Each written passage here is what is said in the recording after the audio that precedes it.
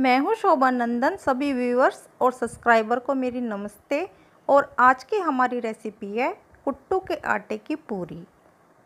कुट्टू के आटे की पकौड़ी बनाने के लिए दो मीडियम साइज़ के आलू को उबालने के बाद कद्दूकस कर लेते हैं।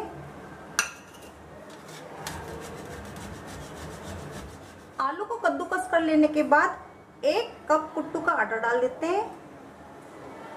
टेस्ट के अनुसार नमक डाल देते हैं। टेस्ट के अनुसार काली मिर्च का पाउडर डाल देते हैं। अगर आप पूरी में हरी मिर्च पेस्ट का यूज़ करना चाहते हैं तो कर सकते हैं। चौप मिर्च का यूज़ ना करें, क्योंकि चौप मिर्च का यूज़ करने से पूरियाँ फट सकती हैं। सभी इंग्रेडिएंट्स को हाथों से अच्छी तरह से मिक्स कर लेते हैं।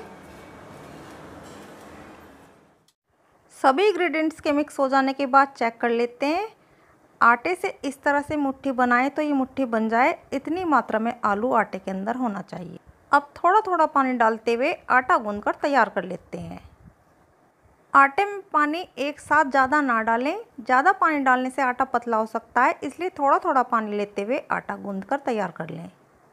पूरी बनाने के लिए आटा गूंद कर तैयार है। आटे को हमें ना तो ज़्यादा टाइट रखना है और ना ही ज़्यादा पतला रखना है। हमें मीडियम आटा गूंद कर तैयार करना है।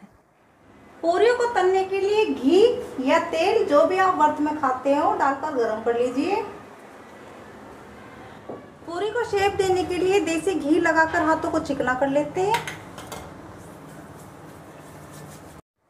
हाथों को चिकना करने के बाद नींबू के आकार का आटा लेकर गोल गोल घुमाते हुए इसकी लोई बनाकर तैयार कर लेते हैं। लोई को गोल गोल घुमाते हुए हथेली से या फिर उंगलियों से थपथपाते हुए पूरी की शेप दे देते हैं। हल्के हल्के हाथों से थपथपाते हुए पूरी को शेप देने के बाद पूरी के फटे हुए किनारों को भी हाथों से ठीक कर लेते हैं। पूरी को शेप देने के बाद पूरी को तल लेते हैं। पूरी को तलने के लिए तेल का टेम्परेचर मीडियम रखें, ज़्यादा तेज़ टम्परेचर होने से पूरियाँ जल सकती हैं।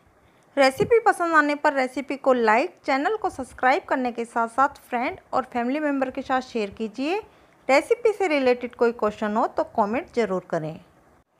पूरी के एक साइड से गोल्डन ब्राउन कलर आ जाने के बाद पूरी को पलटकर दूसरी साइड से भी गोल्डन ब्राउन हो जाने तक तल लेते हैं। पूरी के दोनों तरफ़ से गोल्डन ब्राउन हो जाने के बाद पूरी को निकालकर प्लेट में रख लेते हैं। पूरी को प्लेट में रखने के बाद वर्थ वाली सब्ज़ी या वर्थ वाले रायते के साथ सर्व कर लेते हैं। अब बात करते हैं कुछ टिप्स और ट्रिक्स की। अगर आप मेज़रमेंट कप का यूज़ नहीं कर रहे हैं, अंदाजे से आटे को ले रहे हैं तो आलू और आटे की मात्रा मुट्ठी में बंद करके चेक कर सकते हैं। पूरी बनाने के लिए आटे को ना तो ज़्यादा सख्त रखें, ना ही ज़्यादा सॉफ्ट रखें। मीडियम आटा गूंदकर तैयार करें। पूरी को शेप देने के लिए हाथों को चिकना करने के बाद हाथों से ही थपाते हुए पूरी को बनाकर तैयार कर लें। अगर आप चकला बेलन से पूरी को बेलना चाहते हैं तो बेल सकते हैं, लेकिन चकला बेलन से बेलने से पूरी की परफेक्ट शेप नहीं आएगी, कहीं से मोटी, कहीं से पतली रहेगी और उसके किनारे भी ज़्यादा फटे हुए रहेंगे। इसीलिए मैं आपको सजेस्ट करना चाहूँगी कि पूरी को बेलने के लिए चकला बेलन का यूज़ ना करें। पूरी को हाथों और हथेली की मदद से थपथपाते हुए ही शेप दे दें।